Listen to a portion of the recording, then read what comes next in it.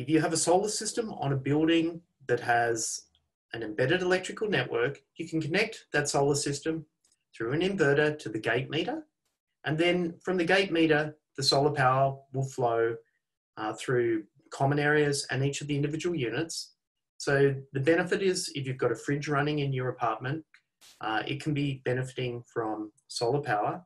And this is measured on a user pays basis on how much solar you actually consume, but it's integrated into the billing that you get from that third party embedded electrical network operator uh, that's managing the embedded electrical network for your apartment building.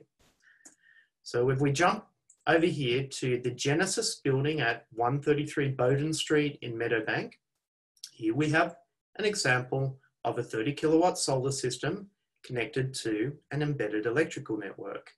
And this system is sharing the solar into the individual apartments as well as the common areas of this building, uh, 58 apartments. The building also has an embedded hot water network using a warm water hot water system with ultraviolet to uh, get rid of Legionnaire's disease, energy efficient motion sensored LED lighting everywhere, and an electric vehicle charging station, which the Strata Committee voted to install in the basement car park. Now, the beauty of this EV charging station is that it connects to the common area meter.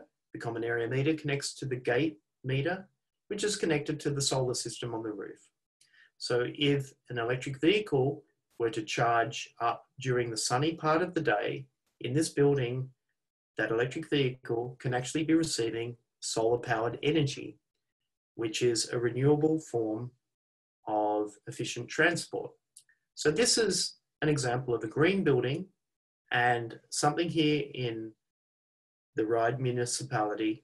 If you look down the rest of the street, none of those apartment buildings have solar panels on them. So it'd be great if the solar panels started multiplying and replicating through the apartment complexes in the Ryde City Council area.